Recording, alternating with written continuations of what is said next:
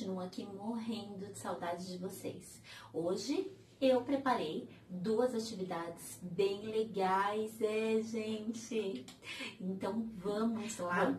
A primeira atividade que a tia Mayara vai passar é uma atividade sensorial sensorial. Como assim, Tia Mayara? O que é que significa isso? Sensorial é quando a gente sente as coisas, né? Então, por exemplo, se eu pego, hum, deixa eu ver, ah, se eu pego a minha amiga Peteca e aqui, ó, ela tem os cabelinhos dela, estão vendo?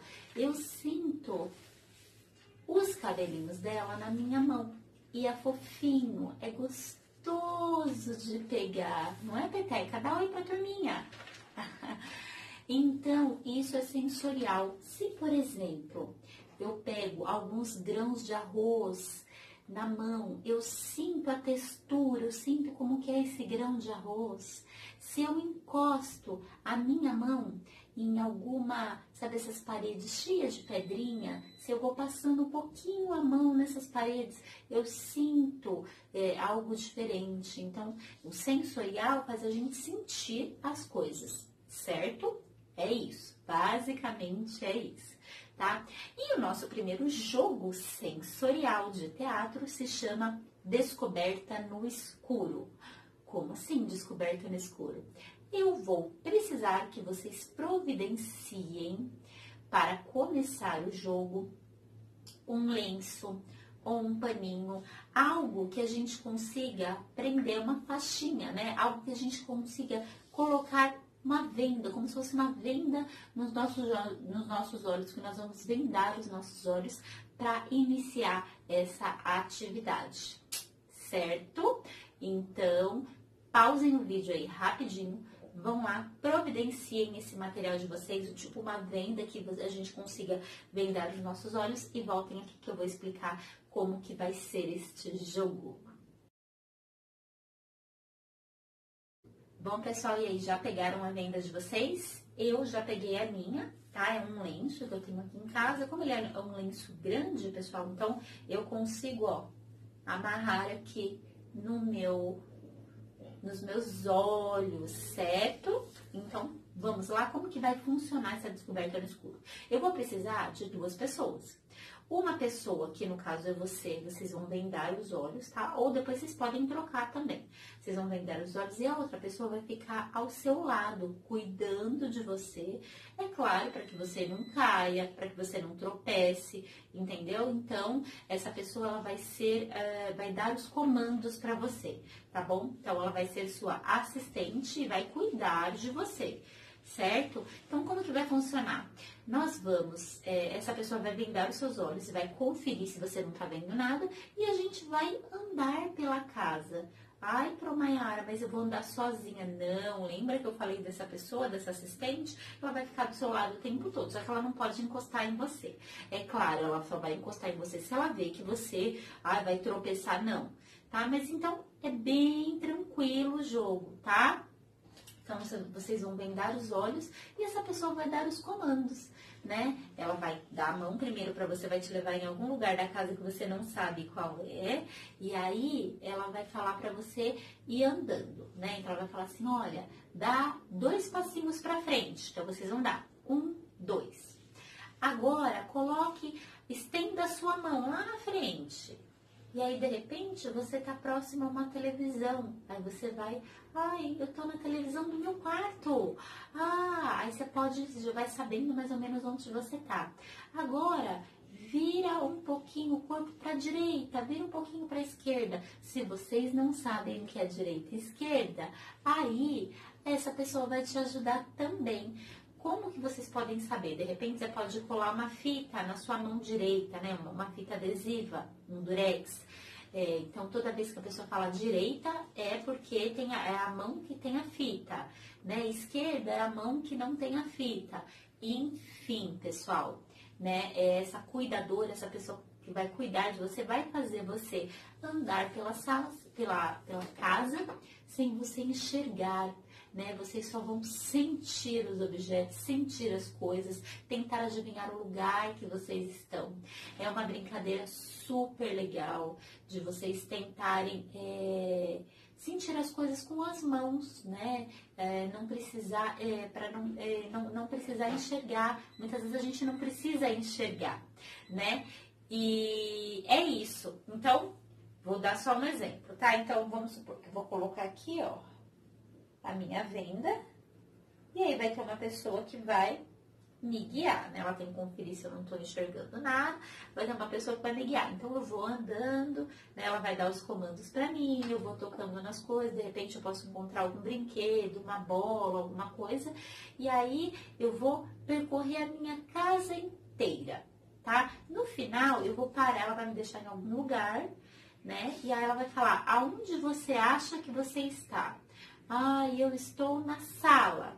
Ela vai tirar a venda se você acertar, ótimo. Se você errar, uh, ótimo também, porque foi só uma, uma sugestão que a pessoa perguntou, é mais para a gente tentar saber mais ou menos onde a gente está e tudo mais tá bom? Depois disso, eu quero que vocês escolham algum lugar da casa de vocês, que vocês se sentiram bem, que vocês gostaram de estar com a venda nos olhos. E lá daquele lugar, vocês vão criar uma história, vocês vão montar uma cena apresentando, mas com os olhos vendados, sem enxergar nada, tá? Então, de repente, você pode falar, ah, eu quero fazer a cena no meu quarto, perto do meu baú de brinquedos. Então você pode sentar perto do seu baú de brinquedos, você pede para sua mãe ou para quem estiver com você deixar o baú aberto e aí você vai fazendo a cena e pegando os objetos que estão lá e apresentando, tá bom? O ideal, quando, se você vai fazer uma cena de olhos vendados,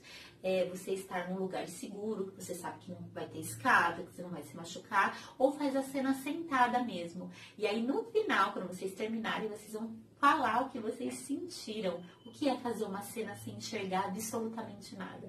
É uma experiência bem legal, uma experiência bem diferente. Espero que vocês se divirtam aí na casa de vocês fazendo.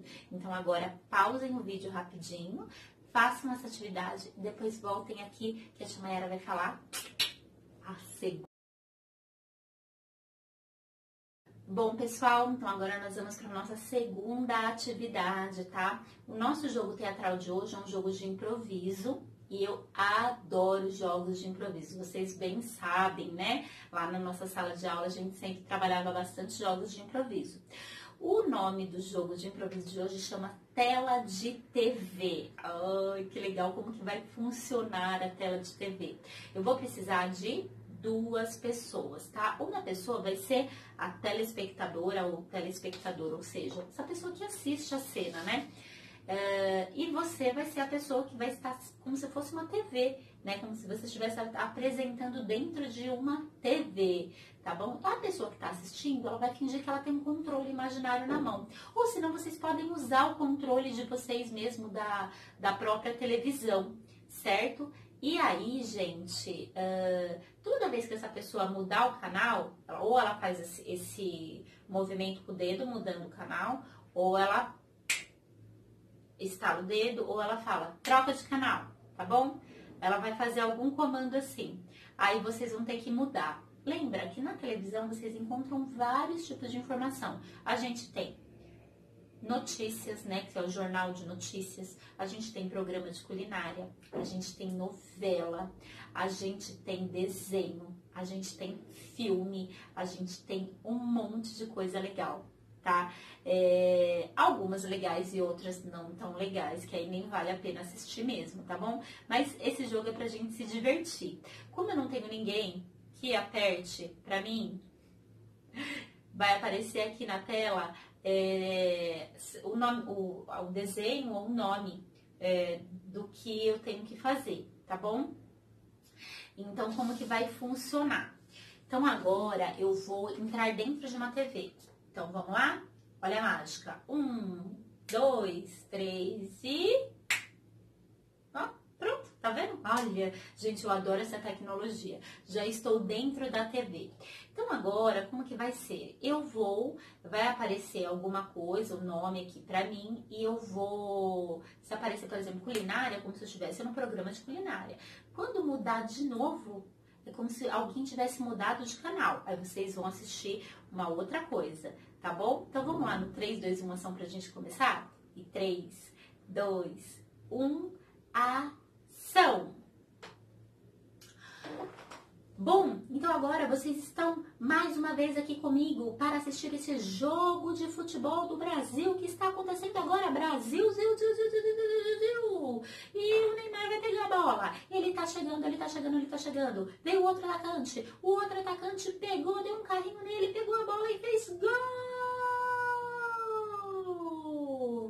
Bom, Ana Maria Braga, hoje nós estamos aqui para mostrar para vocês uma receita maravilhosa. Eu vou ensinar vocês como se faz um delicioso miojo. Vocês pegam o saquinho, abram o saquinho, coloquem o miojo na panela. É, panela cheia de água.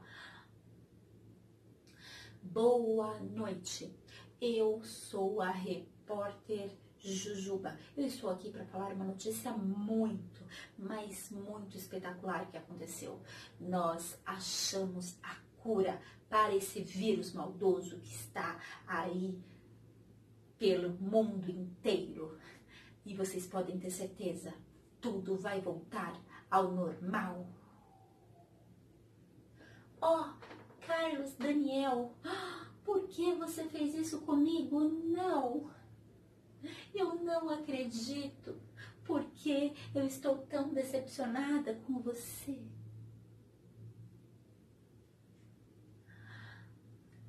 Cebolinha! Volta aqui agora!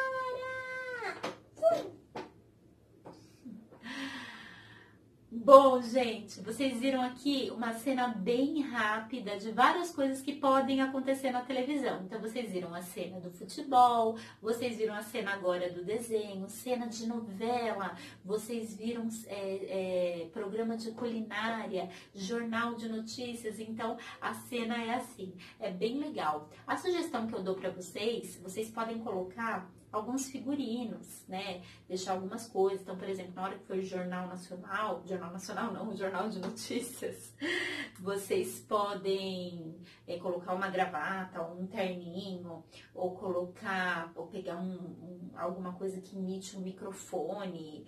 Uh, se for culinária, deixar tipo umas panelinhas mostrando o que vocês vão fazer, o que vocês vão fazer no programa, né? Se for futebol, ter uma bola de futebol, né? Eu fiz um narrador de futebol, mas vocês podem fazer um jogador de futebol vocês podem se divertir. Então é legal esse jogo vocês terem alguns adereços, algumas coisas, alguns objetos bem pertinho que vocês possam usar. Isso ajuda muito para a cena de vocês. Eu fiz a cena sentada, porque eu tô aqui olhando diretamente para o celular, para é, celular, para a tela do meu celular. Mas uh, vocês podem se mover, se movimentar na cena. Isso que é legal, tá? E apresentando para quem tá perto. E aí quem tá assistindo depois pode trocar. Se a pessoa que estava assistindo faz a cena, você segura o controle e vai mudando de canal. É, uma, é um jogo super legal que dá pra gente imaginar, criar tanta coisa, tá bom? Eu espero que vocês tenham gostado da aula de hoje. Um super beijo virtual da Chamayara e até a próxima aula.